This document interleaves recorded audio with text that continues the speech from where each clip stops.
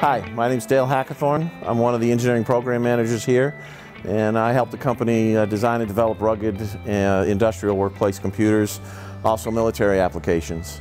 This is one of our 15-inch rugged military computer systems, fully sealed, 15-inch diagonal display. For those of you that are techno geeks out there, it's 1024 by 768 resolution.